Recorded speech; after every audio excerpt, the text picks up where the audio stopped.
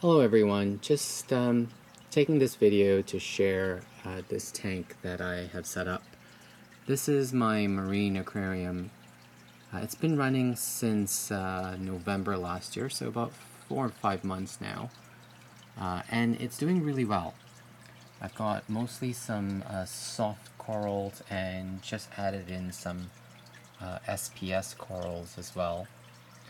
and it's been doing really well uh, considering that there's nothing that high tech about this tank.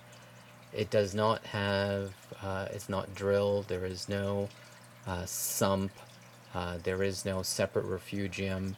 It's a pretty basic setup. In fact, um, I'm running a hang on tank filter. Uh, I do have a protein skimmer. I have one canister filter uh, running and a few power heads, and that is it.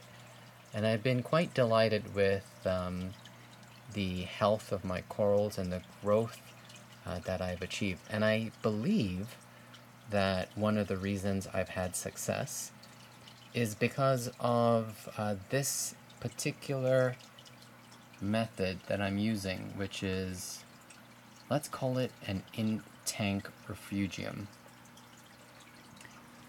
So of course, um, there's lots of videos out there about refugiums and uh, the value of a refugium.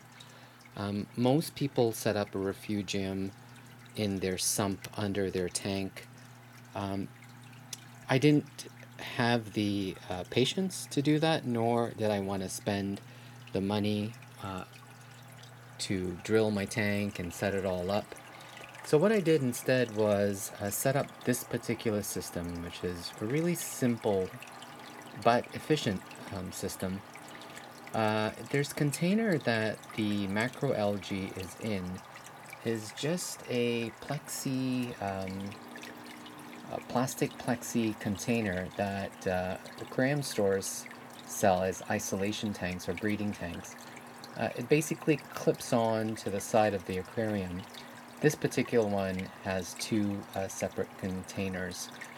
And um, as you can see, in one of them I have Chaetomorpha, and in the other one I have some red macroalgae, uh, dragon's breath. And then uh, for lighting, really simple. These are some of these um, domed um, lights that reflected lights that one can buy really on Amazon, Home Depot, anywhere. They're you know less than twenty dollars. And I'm also using a, a full spectrum light that I bought from Amazon as well. Really good um, growth with this. Simple, right? I mean, there's nothing elaborate, no specific spectrum, uh, purple spectrum. Seen a lot of videos about that. This is just full spectrum, maybe about four to five uh, inches away from the macroalgae. And uh, you can tell that the macroalgae is growing extremely well and the growth basically is supported by the uptake of nutrients from the tanks. So the fact that uh, this macroalgae is doing so well it's encouraging for me because it's actually taking up all of the phosphates and nitrates from the aquarium.